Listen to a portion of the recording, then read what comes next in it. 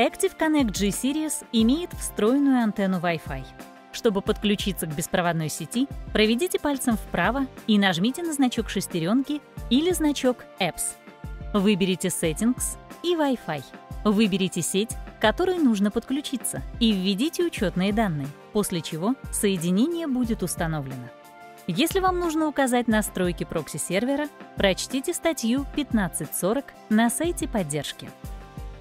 Если вы подключены через Ethernet и хотите предоставить доступ к интернету другим устройствам, вы можете использовать Active Connect G-Series в качестве точки доступа Wi-Fi. В меню Settings нажмите Mo в разделе Wireless and Networks. Выберите Tethering and Portable Hotspot. Нажмите Set up Wi-Fi Hotspot. Выберите название сети и пароль, затем нажмите Save.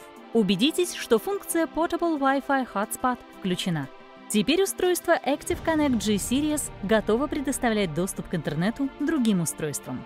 Чтобы разрешить Bluetooth подключение, выберите Bluetooth в меню Settings.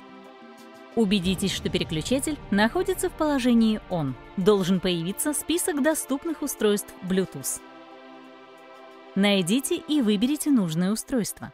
Если соединение доступно, появится сообщение с кодом подключения. Введите этот код на другом устройстве и нажмите Pair. Дополнительные сведения о подключении к Active Connect G-Series доступны на сайте поддержки. Спасибо за просмотр!